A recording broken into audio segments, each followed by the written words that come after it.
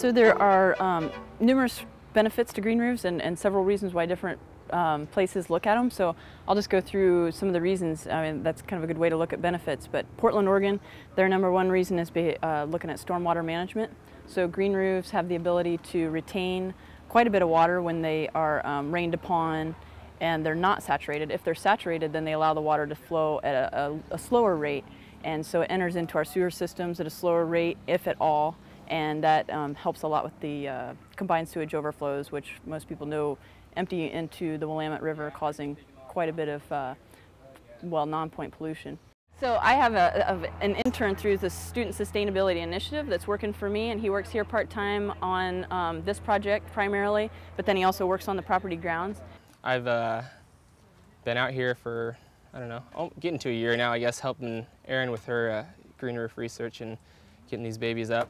Um, so after these guys get set and the data, you know, session starts to go, um, I'm gonna help out with that, but then also uh, take care, you know, take on some some new projects on my own. Um, one being some sort of a bioswale, bioretention um, setup where we can um, collect all the runoff from the property. There's a lot of hardscape and uh, roof area that just washes off into the creek.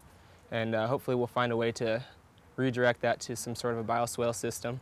We are looking at um, collecting the storm water that comes off. We're going to look at both storm water and irrigation events. We won't collect water all the time, but we will choose to collect at certain, certain intervals and we'll look at how much are the roofs retaining.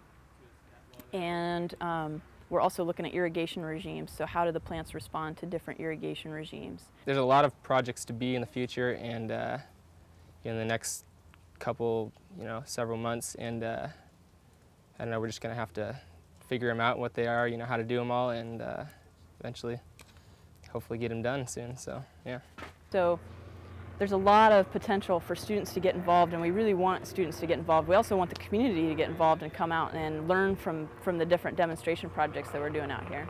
I'm an intern with the Student Sustainability Initiative working on Oak Creek restoration and I wanted to do this over the summer because I like networking and I see that there's a lot of work to be done. I've done better in this year of school since I've been volunteering with um, the student government with environmental affairs and then going on to do this internship. So it's just really great. Like I would tell any student to do it just because it's a lot of fun, more fun than you think.